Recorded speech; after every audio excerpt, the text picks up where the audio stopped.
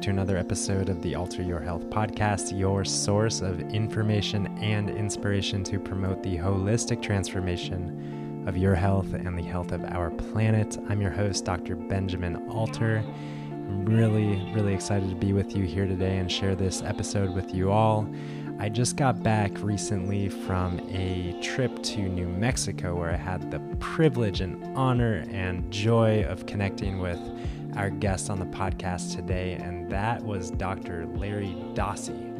Dr. Dossey is an internal medicine physician, former chief of staff of Medical City Dallas Hospital, and former co chairman of the panel of mind body interventions National Center for Complementary and Alternative Medicine, National Institutes of Health. He is executive editor of the peer reviewed journal Explore, the Journal of Science and Healing.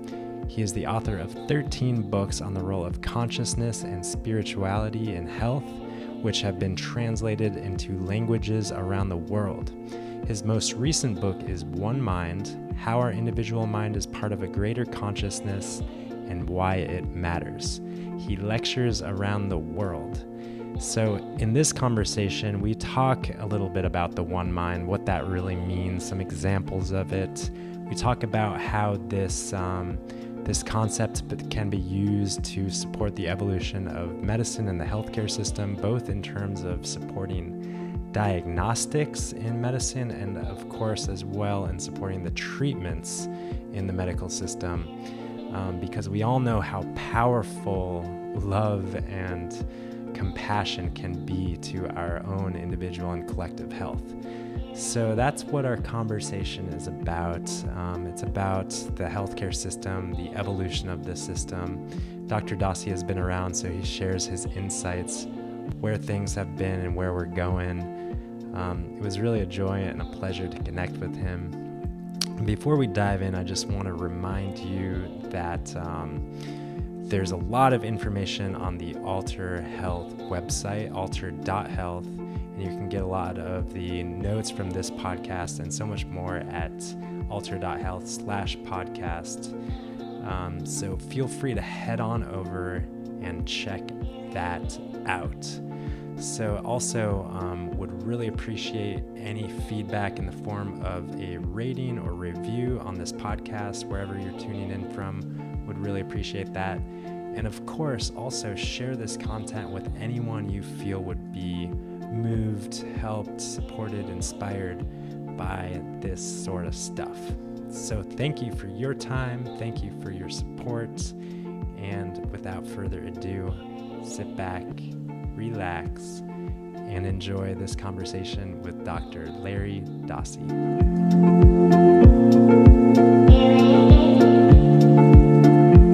First of all, Larry thank you for making the time to be on this podcast.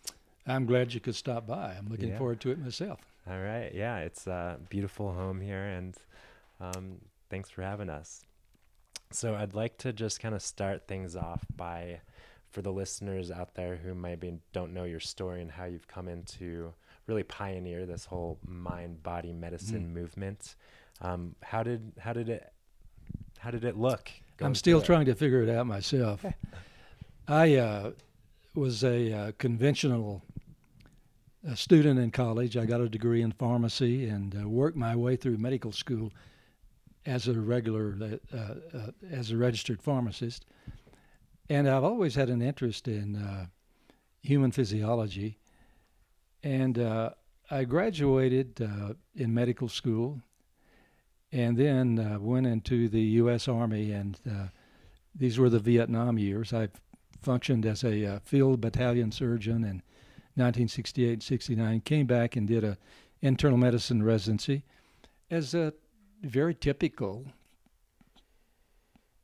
uh, United States physician. Mm-hmm. Then a few things happened in my my life in terms of uh, having some experiences with premonitory dreams, dreams of things that would happen in the future in my clinical practice. These really got my attention. Uh, and besides that, I had a medical illness which reoriented, reoriented me about how you approach illness I nearly dropped out of medical school because of severe migraine headache. and uh, nothing worked. This got much worse in my uh, postgraduate medical training, and I thought it might end my career. And then I discovered biofeedback, which is a way of using your mind to change your physiology. This had a tremendous uh, reorienting effect on how I approached human illness. Mental uh, activity, uh, in my own experience, paved the way toward an almost complete resolution of the migraine problem. I began to follow research in this field. I wrote a book called Space, Time, and Medicine, uh, and another book uh, called uh, Healing Words, which looked at the ability of people to use their own intention to affect others at a distance. I didn't even know this body of knowledge existed. Mm. And it really changed my way of looking at human consciousness. Mm. Uh, so I pursued that. Uh, 13, 13 books later, here we are. I have uh, lived long enough to uh, see enormous change in medical education, emphasizing the role of consciousness and intentionality uh, in human out, health outcomes. You know, 40 years ago, the conversation that you and I are having now was just taboo. Mm. You could get into real trouble quick talking about the role of spirituality in healthcare. Today, it's changed. Almost all the medical schools in the United States now have formal coursework looking at the role of spirituality, intentionality, emotions, attitudes, thoughts, and affecting your health. So we've come a long way, but we still have a long way to go. Yeah, I, I'm in agreement with you. Having you know being on a on the fresher side of the the doctor scenario, um, but yeah, it's amazing to know how medical education has shifted.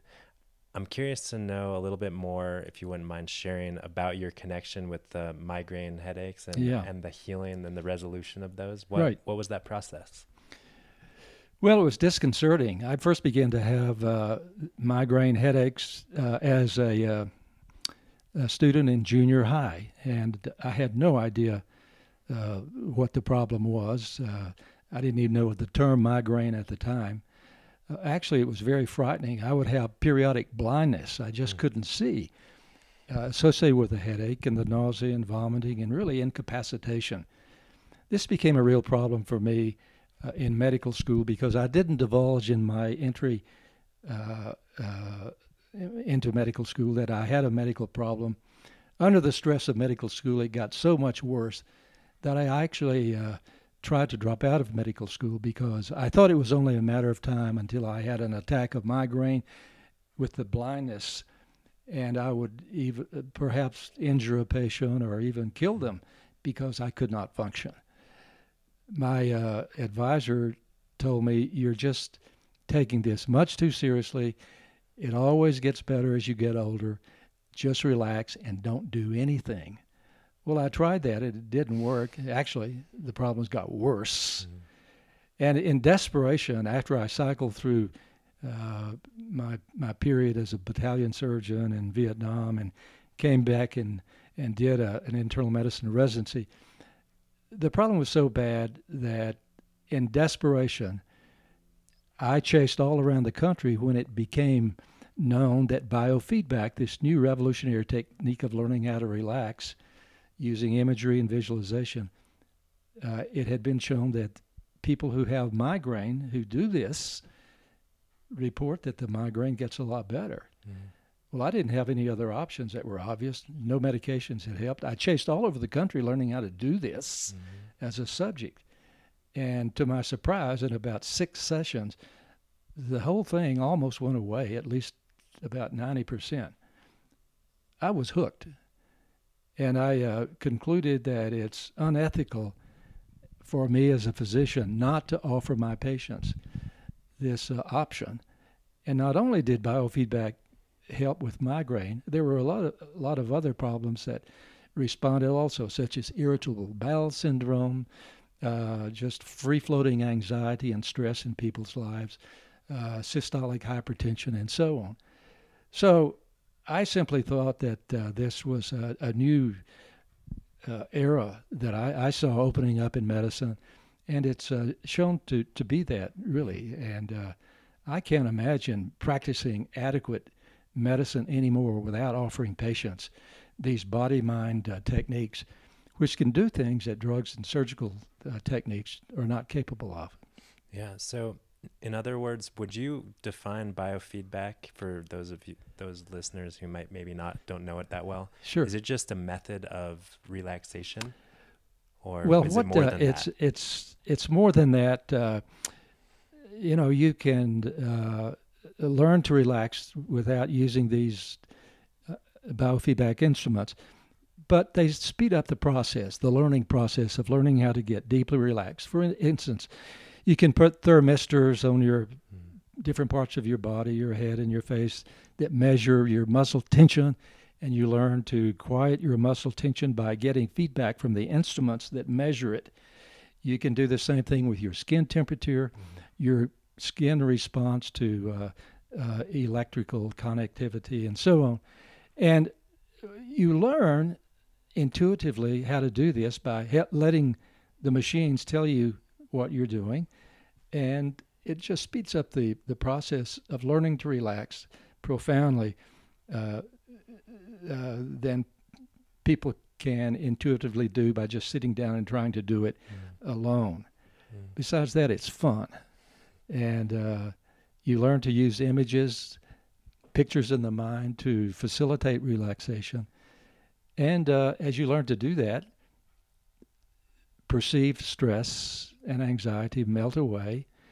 You feel better, and illnesses get better. What could be better than that? Mm. And uh, so I'm a huge fan of uh, biofeedback therapy. And as a matter of fact, started one of the first biofeedback laboratories in the state of Texas. At the time, you know, this new stuff was condemned as oh some sort of invention of these probably hippy dippy new age freaks out in Southern California. You know, Mhm. people really condemn biofeedback upside at one side and down the other until the data came out showing that this is Yeah. this is a substantial therapy. Well, it's amazing that it would be condemned because it is very um, scientific and data driven. You know, you can look at it, you can measure it, you can see it, you Exactly. can feel it. So it's it's amazing that that would be condemned. But um, but Well, I'll, I'll give you an example. Yeah. You know, I was in a large uh, medical group, which I started, and uh, a lot of my uh, colleagues were really suspicious of this stuff. You know, we had this darkened room back in the office space, and you know, uh, some of my colleagues actually, th- I think, thought that this was satanic or something Hmm. really spooky going on back there. It would never come back and actually hook up to the machines themselves or even look around to see what was going on. But uh, an interesting thing happened. Over the years, many of my colleagues developed their own problems, and one by one, they would come back and turn themselves in and say, "Maybe, uh, maybe I should look at this more Let's give seriously." this a try. yeah, let's give it a try. Yeah, I think that's what it all comes down to is just uh, slowly, one by one, more and more people are opening up to Mhm. what you've been looking at and writing about for decades. Well, there's some truth to that. so we're we're you know I've I've always kind of after being introduced to your work, um, the first book that I read was Power of Premonitions. Mhm. It was assigned reading in uh, University of Santa Monica's curriculum at that time, and I thought, and we also watched an interview with you maybe twenty or thirty years ago. And I thought, man, this guy is really ahead of his time, and you know, you're you still are, and we're we're catching up. We're Well, uh, you know, I, I look back and uh, it's it's quite obvious that things are changing uh, quickly with their openness toward issues of consciousness and the role of consciousness in human health.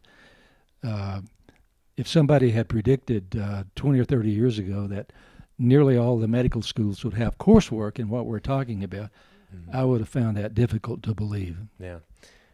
Yeah, that's true. I mean, it's maybe I'm interested to know your thoughts around this. Um, you know, to me, I feel like it's one thing to have coursework, you know, a class that you have to go to and take notes and learn, and and then it's, it's another thing to live it, to practice it, to know it, to integrate it Mhm. into our being. So do do you I mean what what are your thoughts around that? Do you feel like there's a still a deficiency of it being fully integrated?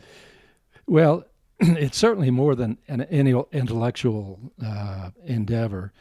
Uh, getting to the point where you're open to uh, spirituality, mind-body effects in, on human health, and and so on.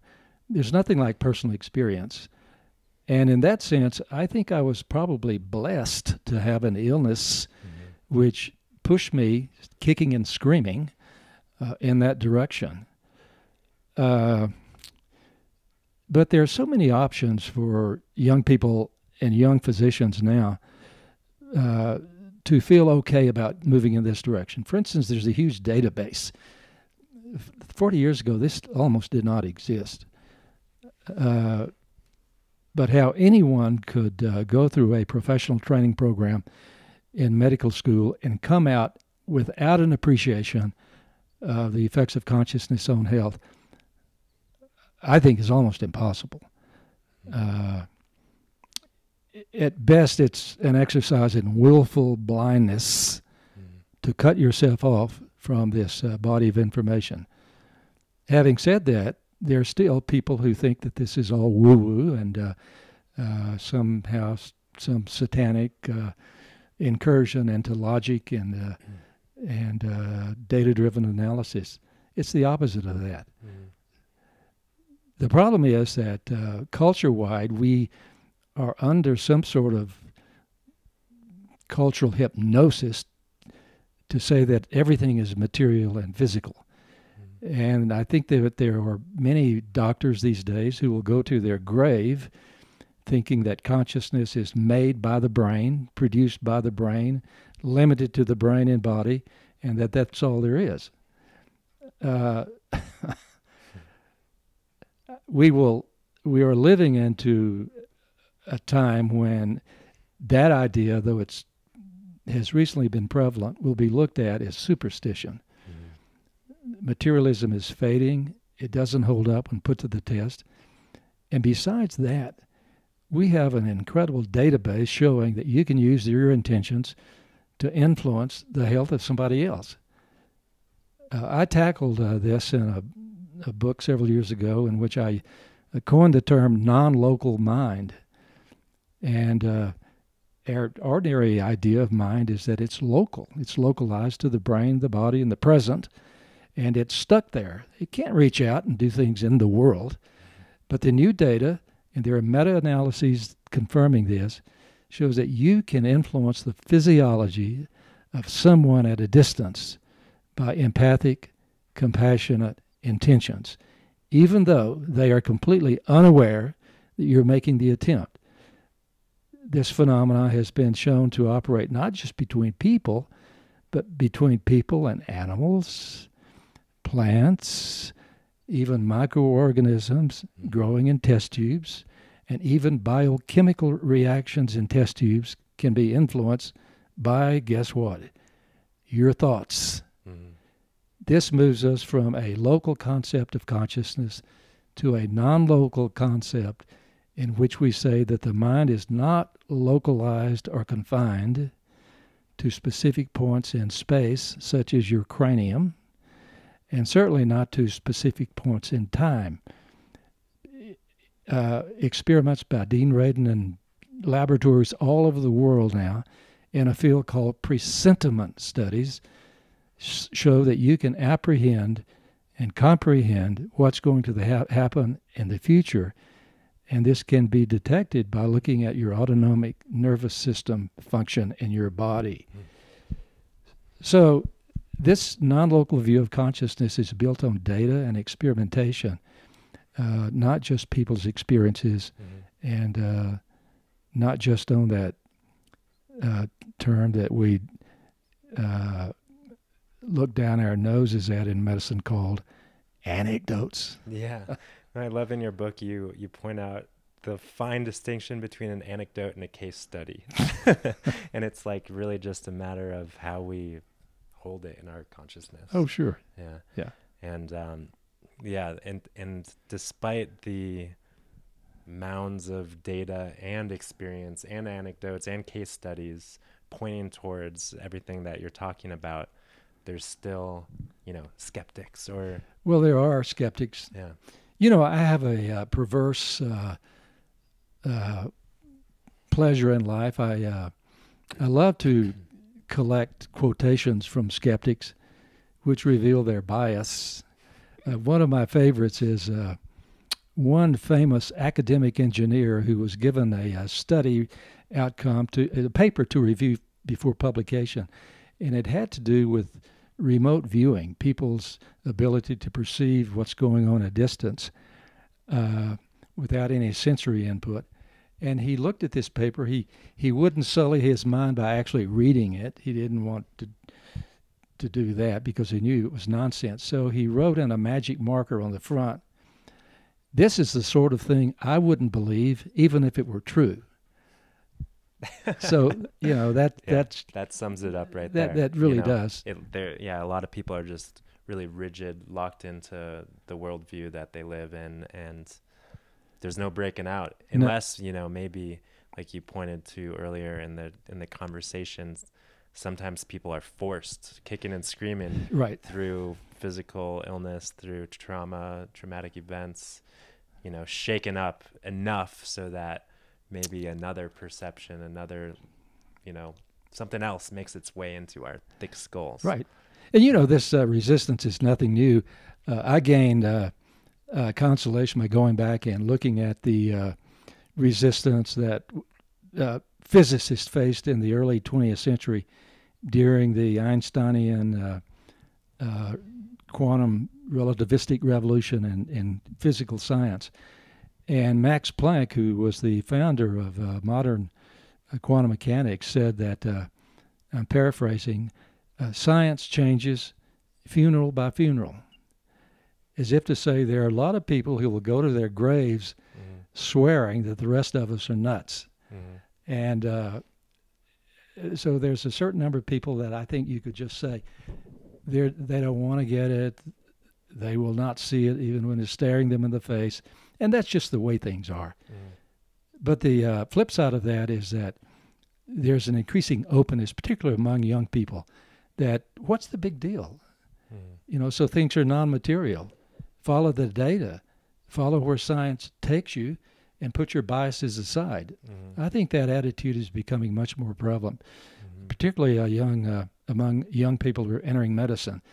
And in that regard, I think one of the main features about the greater openness is the huge number of women that are entering, entering uh, medical professions these days. When I was in medical school, out of 100 uh, students, we had three women. Wow. Fast forward now, the great majority, uh, I, I, won't say the great majority, but majority of medical students in the United States are women. Yeah. And uh, this makes a huge difference mm-hmm. in uh, the openness toward these ideas about consciousness. Yeah. Well, in my program, which is I, I was in a naturopathic program, and I think maybe it was not quite the opposite, but I was vastly outnumbered by women in my program. And I think um, maybe you could speak a little bit more to this, but why does the the feminine energy or or why does that open us up or how does that open us up to a new way of thinking? Well, I have a wonderful opportunity to reflect on that because I'm married to a nurse. and uh, uh, she's written 25, 30 textbooks. I, I, I lose track. These are award winning books that are in use in nursing schools around the world, really. And uh, I've had an opportunity to uh, observe close up the attitude of women and nurses toward people in need. You know, I think there's it's not an accident that that nursing is called nursing because if you look at the etymology of what it means to nurse, it's to deeply care for something, for someone. Mm-hmm. And uh, I see that innate female instinct to care for people, not just in nurses, mm-hmm. But in, in, in women doctors also. Mm-hmm. As a matter of fact, my wife and I have chosen as our personal internist uh, for the past 20 uh, something years in Santa Fe a woman uh, who is one of the most empathic, uh, kind, compassionate, and skillful mm-hmm. doctors I've ever bumped into. I wouldn't trade her for any uh, male doctor I know. so, Yeah. w- what's the explanation? I think it's just the natural way women have of approaching the world. Yeah. Uh, and much, they're much less competitive, uh, less confrontational, less imperious, and more empathic and compassionate, on average, than your average male doctor. Mhm. Yeah. Well, there's. Did I get it wrong? There's some exceptions, maybe, Dr. Dossey. um, but but yeah, I'm I'm with you. Yeah, there. You know, obviously, there's some exceptions. There's some w- females who are have a competitive kind of masculine presence, but but yeah, the feminine nurturing, nursing, that adjective Yeah. or that verb um, that really points to it yeah so i'm curious uh, if we could maybe shift the conversation toward more applicable you know how is consciousness applied in medicine you know I, in in re, in your book one mind you point to a quotation about um, conscious co- I, i'm not going to get it right but consciousness being the most nonviolent means of treating Yeah. illness. So how is that done? Well, I'll give you an example about how it uh, shows up in medical practice, whether you want it to or not. Uh, it paves the way for people to understand what's going on in their bodies and what health issues they may face in the future in ways that you cannot explain by logic. For example, I was in my office one morning and a, one of my favorite patients uh, came and banged on the door and came in and she was a, uh, actually was totally shocking her behavior. She was uh, an outstanding attorney in Dallas. And she said you have to help me. I uh, I know I have uh, o- uh, ovarian cancer and uh, I'm scared to death. So the story is that she had a dream the night before in which she saw three little white spots on her left ovary. Those were her her her words. And uh, she said, I know I have cancer. So we did an exam. It was normal. We sent her for a uh, sonogram of her ovaries to get a picture of it. And the uh, she told the radiologist what her problem was. I've got three little white spots on my left ovary. And he said, How do you know? And she said, I dreamt it. And he had a big life about that. He said, This is the only sonogram I've ever done as a radiologist on account of somebody's dreams. So he put her down, but he did the sonogram, and he was back in my office in a few minutes, white as a sheet. And uh, I said, "What did you see?" And he said, "Well, she she has three little white spots on her left ovary." Uh, and I had to rub it in, and I said, "Sort of like she saw in her dream, right?" And uh, but the good part was that these were ovarian cysts. They weren't cancerous, so she got her diagnosis wrong, but she had some sort of non-local knowing about what was going on in her body that she had no business knowing rationally. There were no symptoms whatsoever. This is one way that people can intuit what's going on, bypassing logic.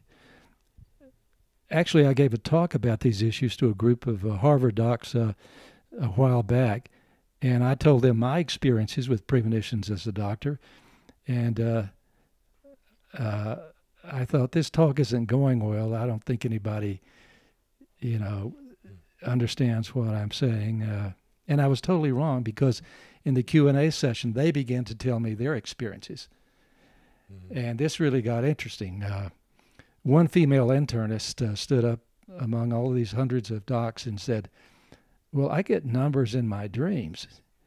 She said, "I see these specific values of my patients." lab tests before I even order the tests. And it went from there. And almost all the doctors who stood up and told their stories would introduce them with a similar comment that said, uh, Well, I've never told anybody this in my life, but, and then they would go on. And I thought, a lot of people aren't talking you know, there's a social stigma in medicine still about talking about these experiences. We better start talking about them because they can make the difference in life and death. Larry Burk, who is an interventional radiologist, a friend of mine, has collected uh, around 20 case histories of women who discovered they had breast cancer through dream revelations. Almost all these dreams are alike. I don't know why this is, but in the dream there is a uh, father figure, deceased, who comes to them and says, "Just you, you better get to a doc and and have a mammogram done, and because there's something serious going on." I don't know why these dreams take this form, but this is the consistent pattern.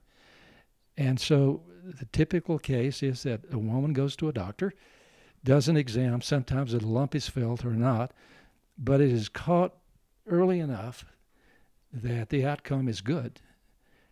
Uh, so there you are. We make a huge mistake in not paying attention to these non local ways of knowing premonitions, anticipation of the future, listening to information that bypasses the physical senses.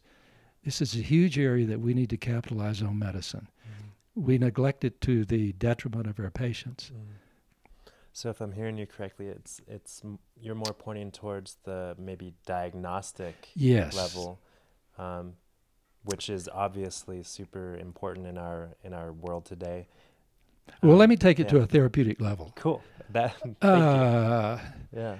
And this, I think, this data is just unimpeachable. Uh, we now know that people who follow some sort of uh, spiritual path in their life, and it doesn't mm-hmm. seem to matter which one they pick, mm-hmm. but if they pick one and they stick with it, they live on average seven to 13 years longer than people who do not follow a spiritual path. And in the process, they have a lower incidence of all the major diseases you want to point to, including heart disease and cancer. So they have a longer lifespan, and as I like to say, health span. It's yes, it's yeah. they're healthier yeah. while living longer. Yeah, that's fascinating. This is one of the great goals of medicine to mm-hmm. promote that sort of thing, right? I mean, that's what we're supposed to be doing. Mm-hmm. And here you have people doing it on their own through no help from doctors, but because of the wonderful side effects of following a spiritual path. Mm-hmm. I mean, I've talked about this data to doctors all over the place, and I find that most docs don't have a real problem because they'll fall back and interpret this data in materialistic terms. Well, people who are spiritual, they may be vegetarians, or they may like to exercise, or they may smoke right. less and drink less. But it's beyond that. Too many variables, so to speak. But yeah. And uh, I think if you really unpack the data, even when people have had some sort of materialistic, let's say, surgical intervention, how well they do at surgery depends largely on whether they're pessimistic or optimistic about how that therapy is going to work mm-hmm. after bypass surgery. People who come out of that experience as an optimist, uh, thinking positive, uplifting, happy thoughts about how they're going to do, they outlive people who come out of that ex- surgical experience as pessimists, who are certain it's not going to work, you know.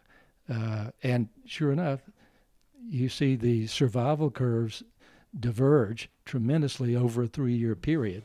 Mm-hmm between the optimist and uh, the pessimist. And you can decide yourself which one you think lives the longest. Mm-hmm. So it sounds like a, a real opportunity in medicine is supporting people and connecting to this. Maybe supporting people, pre, you know, for example, pre-surgically in kind of setting a positive intention, connecting with a positive feeling. Um, and maybe would you say that's the same um, in other words, connecting with the one mind? Absolutely. You know, the idea basically that uh, your thoughts could affect somebody else assumes that there are no boundaries between your consciousness and theirs. The one mind is built upon this idea that there are no fundamental uh, boundaries between people's consciousnesses. Uh, this may seem uh, uh, a quite quite a strange thing to uh, talk about. But I would fall back upon meta analyses of people uh, in experiments in laboratories in remote viewing and uh, presentiment uh, studies and in uh, so called distant healing studies in which people can clearly influence physiological processes at a distance. Mm. One of the data- databases which uh, listeners might uh, easily go to to show demonstrate this to themselves is uh, the work of Bill Bengston, who's a physio, uh, excuse me, a social psychologist of all things, who has become a healer. Uh, he's at uh, a university in New York, and the book is called The Energy Cure. These are jaw dropping experiments that he's done in which you take mice and you transplant breast cancer tissue, mammary cancer, into these mice, uh, and you have a control group that doesn't get the transplant. And this is a terrible thing to do to mice, actually, because within 30 days, all the mice who got the transplanted cancer are dead. There's no survival rate in them. But if Dr. Bengston or one of his students uh, who's learned the technique uh, send their thoughts and intentions uh, to these mice and simply hold these cages in their hands, which contain these mice, they get well. 90% of the cancers fall off, they dry up and just form a scab and go away. Uh, and the control mice that don't get the treatment, they all die. I mean, now this this sounds weird. It is weird from a materialistic standpoint. Mm-hmm. But this uh, exper- these experiments have been done now on hundreds of mice, and around a dozen replicated experiments by him and his group, and academic medical centers around the United States. There is no doubt in my judgment that this shows that people's thoughts can change the outcome of serious cancerous illness and other living things. Wow. How anyone can suggest any longer that a physician's thoughts don't matter is beyond me. Mm-hmm. I think it amounts to willful blindness of just refusing to go where science is taking us. Yeah. It's amazing to me always hearing stories of people walking into the doctor's office and hearing negative thoughts, maybe a negative prognosis or worst case scenario, and it's always framed in a fearful kind of manner. Right. And um, certainly there's opportunities to frame things in a more positive light. I think that my understanding is that a lot of doctors don't want to instill false hope uh-huh. upon their patients and don't want to and maybe set themselves up for some sort of legal you know legal thing what are uh, your thoughts on that well i understand that and uh, certainly false hope can be uh, engendered uh, if it's if the hope issue is used recklessly mm-hmm. Uh, uh, but I, I, think there's another side to it i'll give you an example where doctors go wrong in my judgment dr andrew weil who's been at the forefront of uh, integrative medicine in this country, told me once about uh, a doctor who engaged in wheelchair practice. So he, hmm. he had, a, had a patient who, uh, uh, oh, I forget what her underlying disease was. I think it was multiple sclerosis. But she was in his office and he said, uh, uh, I want you to go out and she was still walking around with crutches he said, You're going to wind up in a wheelchair. Uh, there's no cure for this disease. It is going uh, increasingly in a negative direction. I want you to be prepared for it. And I want you, when you leave this office today, go buy a wheelchair. And I want you to practice sitting in it every day, mm. preparing for the time where you can't walk. Now, I don't know what your attitude is, yeah. but that sounds to me like it borders on malpractice. Well, it's interesting because it does seem, and it, I could understand it being well intentioned. It, but at the yeah. same time, absolutely, I think it borders on the line of malpractice. Yeah, yeah. Well, unfortunately, I think some doctors learned that uh, if they emphasize the negative they're going to stay safe, as you just mentioned. Uh, mm-hmm. They're not going to mislead. better prepare the patient for the worst. Mm-hmm. And if it happens, you know, then the doctor was very wise, could see into the future, and he maintains his self respect and status. Mm-hmm. So I don't think that uh, instilling hope is mal is malpractice. I think if we're going to err in one direction, it ought to be toward conveying hope Mm. uh, toward uh, healing. I really like that, you know, because, you know, obviously, despite our connection with our wisdom and the one mind, we don't know. We don't know the the ultimate outcome, but you know, granted that we are going to err, why not shoot for the stars? Oh, sure, I agree. Yeah. you know, for the listeners, I would emphasize a, a book that I'm, I've become excited about. It's uh, uh, it's called Doctors Untold Stories, Hmm. and it's written by an internist in the Wheaton, Illinois area, Doctor Dr. Scott uh, Kolbaba, K O L B A B A, and he went around the hospital and he talked to his doctor colleagues on the staff, and he said, "What's the weirdest thing you've ever seen as a doctor?"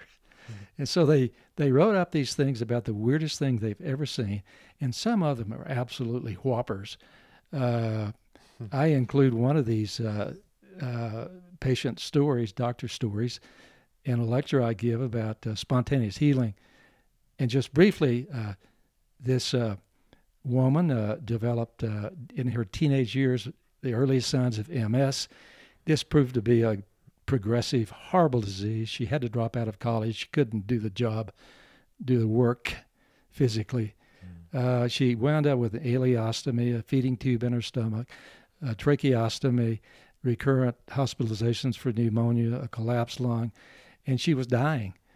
And uh, this gradually worsened over a period of a few years, but in the final stages, her parents and the doctor, Dr. Thomas Marshall, got together and decided there would be no heroics, no uh, resuscitation when she passed, which was predicted to be any day.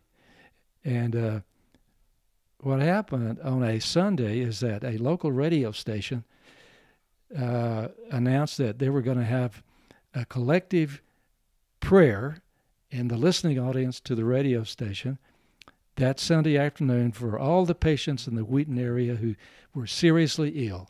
And they singled out her because everybody knew her.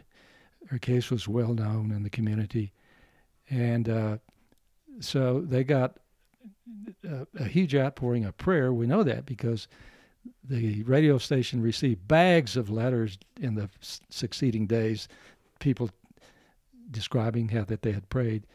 So here's this woman attended by uh, in her sick room by two girlfriends who had come to visit her, and she had been curled up in a fetal position and had not walked for for years. And uh, she suddenly heard a voice which said, uh, "My child, get up and walk." Uh, she did. She got out of bed, took off her oxygen, for the first time in years, stood up on her own legs. Her mother heard the commotion and went into the room, and apparently her her physical appearance had changed. The the mother looked her up and down and said, "Barbara, you have muscles again." Her father came in the room. He was astonished to see his daughter standing up, and he hugged her and as they say in the story, he waltzed her around the room. So that night, she went to church with the whole family. She walked from the back of the auditorium to the front. The minister did not handle this well. He fell against the pulpit and kept muttering, uh, This is nice. This is very nice. So the next day, her family took her to Dr. Marshall, her long term internist. Uh, they took out the ileostomy, discontinued the feeding tube, discontinued her oxygen, uh, sent her for a chest x ray. The collapsed lung and the infiltrates were no longer there. And the doctor said, I've never seen like anything like this in my life. She was about to die, no CPR, no hope for her forever, for, for at all. And here she is, well. What do you do with that? I mean, you just put that in the sweep it under the rug. Well, it says know. there's some things that we just yeah. don't understand, yeah. right? I think that's a minimal approach uh, to yeah. it. So, if someone with end stage, non resuscitatable illness can uh, spontaneously be cured, I think we should keep our options open about the mystery of healing. Mm. And in view of these kinds of uh, spontaneous turnarounds, I think it's reckless to tell somebody there's no hope. I agree. That's a powerful story. I haven't that, haven't quite heard one that dramatic, but I know mm. there are countless, you know, others. Um, as you were sharing that story, question arose in me. Um, curious your thoughts. How do you pray? What is what is the what is a because that you were talking about yeah. the story of many people praying. What's right. the proper way of praying? Yeah. Well, I I have a wide open definition of prayer. It mm-hmm. offends a lot of religious people, but I I just consider prayer to be a communication with the absolute. And I leave it up to others to decide what form that communication might take. And also the meaning for that person of what the absolute is. Mm-hmm. You know, a lot of religious people will define the absolute in terms of the deity in their particular religion. Others will consider prayer to be talking either to yourself or out loud to what they consider to be the deity. I just want to leapfrog all of those spec- specifics and keep it generic and uh, mm. say that it involves some form of communication with the, the absolute and leave it up to people to define those terms. You know, one reason to do that is that there's some religions uh, that uh, in which a prayer is very precious, uh, which are not even theistic. There, there are many schools of Buddhism, for example, that honor prayer, but they have no idea of a personal God. They pray to the universe. Mm-hmm. So I wouldn't want to rule out one of the world's great religions by getting too narrow in these mm-hmm. definitions. I think if you look at the studies on distant intentionality, in which intentionality is expressed as prayer, there is no proof that any particular religion has cornered the market on on prayer effects. Mm-hmm. As a matter of fact, there's uh, evidence that people who use their intentions, who don't consider it to be prayer, uh, can achieve equal results as with people compared to people who pray in a religious motif. Mm. So what what's the common denominator? I think it's probably love and compassion and deep, deep, deep, deep caring for what it is or who it is you're trying to affect. Mm-hmm. Uh, so I think that there's probably some common denominator that uh, just uh, transcends all of the uh, divisions and uh, that we make in terms of how we think about religious structure. Yeah, I myself do not belong, for what it's worth, don't belong to any particular religion. Uh, uh, although I did growing up. But for me, prayer is an attitude of the heart. And uh, I, having said that, however, I, I don't uh, want to persuade anybody from giving up their uh, their favorite form of prayer. Mm. I love that. Thank you. That's a great explanation and definition.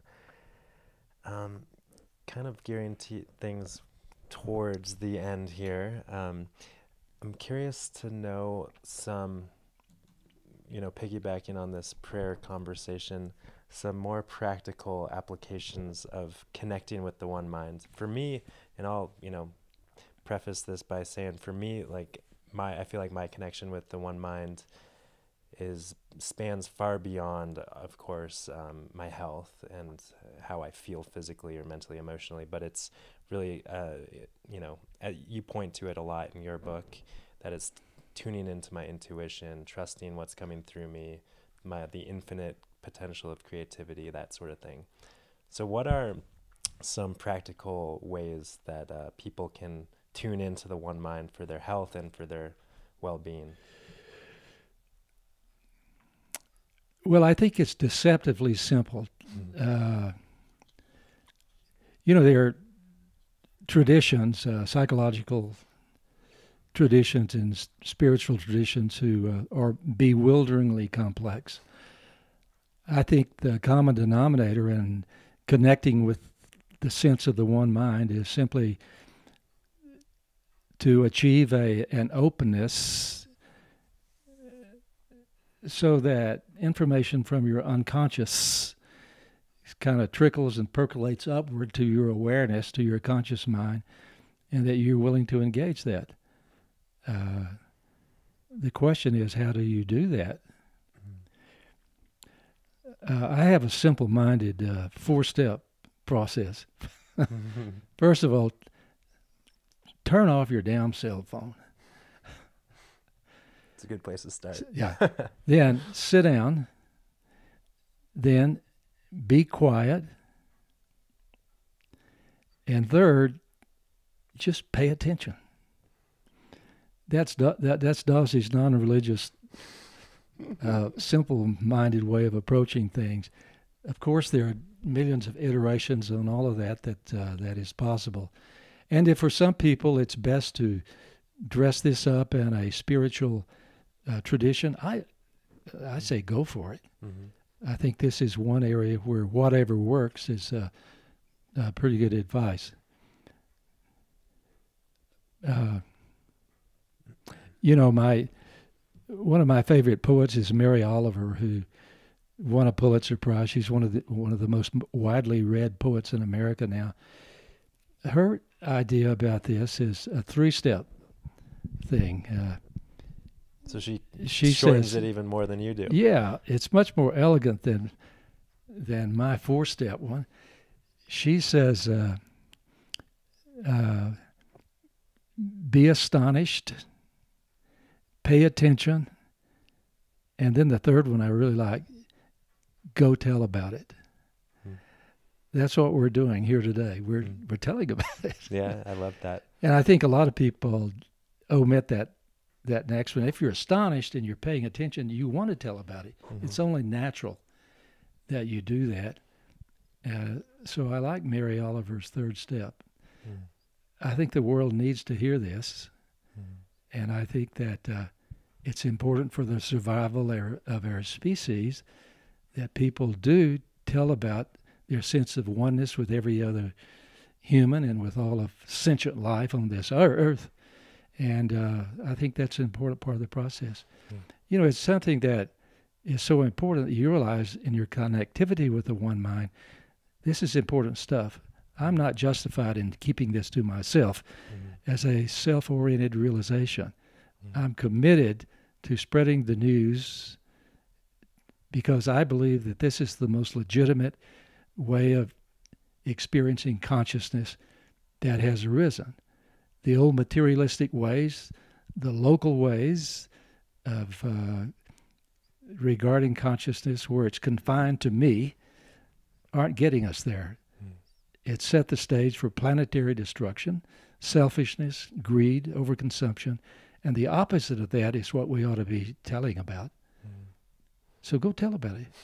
I love that. you're that's what you're doing. That's what we're doing.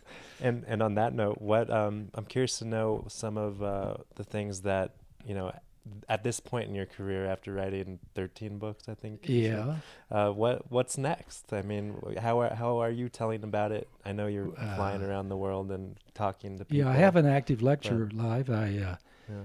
I get to go go around the world and blab about stuff that's uh, that uh, interests me, that I'm concerned yeah. about. So that's mm-hmm. my telling about it.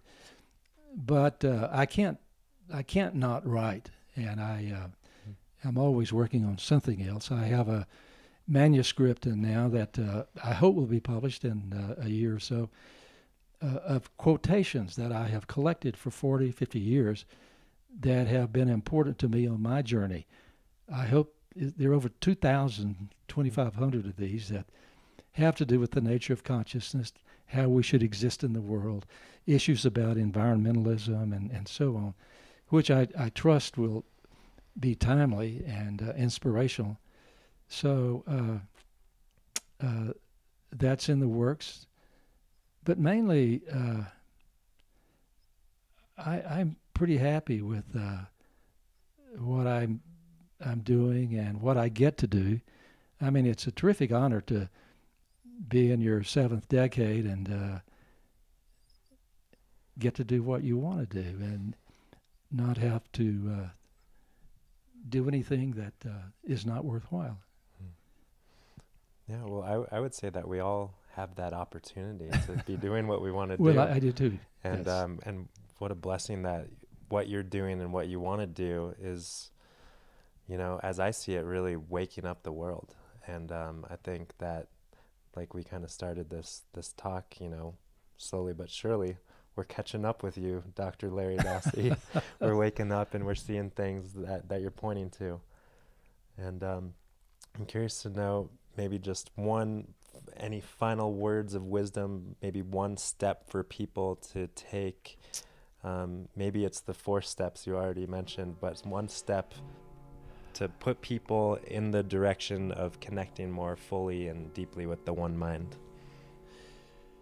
Yeah, I think that uh, the best guide uh, is your inner sense of uh, uh compassion and empathy. I think uh, amidst all the verbiage that we could throw at connecting with the one mind, uh, I think it comes down to a matter of love, regard for others, regard for other sentient species, not just other human beings.